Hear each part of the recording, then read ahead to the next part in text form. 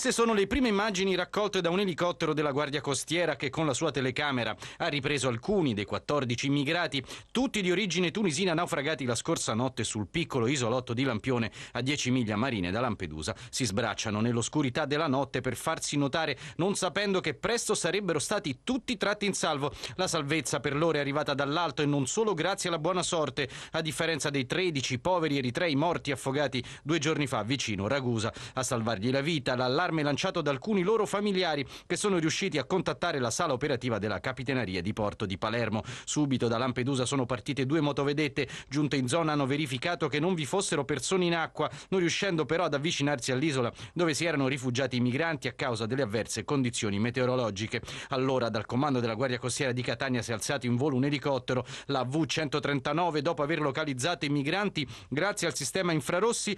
Le immagini fanno riferimento proprio a questo particolare momento ha iniziato le manovre di recupero tramite un verricello. Uno a uno sono stati fatti salire a bordo dell'elicottero e trasferiti in buone condizioni di salute sull'isola di Lampedusa.